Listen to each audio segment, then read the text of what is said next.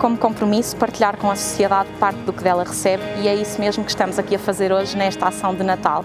Nós temos relação regular com várias instituições nos quatro distritos em que estamos presentes e eh, sabemos que os pedidos de ajuda de famílias têm aumentado. Por isso, aquilo que fizemos foi falar com os nossos fornecedores e fazer uma compra adicional de 80 toneladas de produtos, de bens alimentares, para doar a várias instituições que, por sua vez, os entregarão a muitas famílias.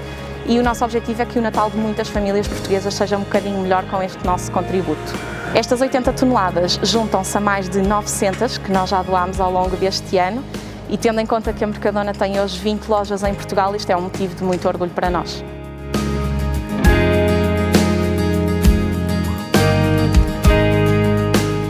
As doações da Mercadona são uma mais-valia para a Cercivar, eh, pois assim nós podemos ajudar eh, as famílias que apoiamos a passarem um Natal melhor.